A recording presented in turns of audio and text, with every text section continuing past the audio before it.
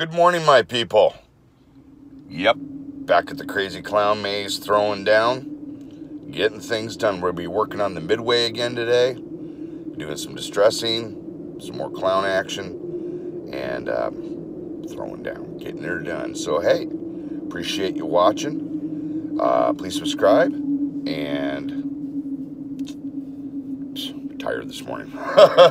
Trying to focus my eyes, but uh, we're to get her done. Uh, remember, people, I carry Paasche airbrush equipment. So if you need anything, there is a link in the bottom below to my website. You can email me from there.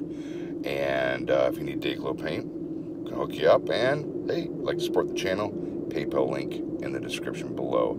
And for all those people might be needing some 3D or anything like that this year, I am booking uh, heavily at this present moment. So if you need something, let me know uh, we got to work on a first come first serve basis because it's just me myself and i so got to get things done that way.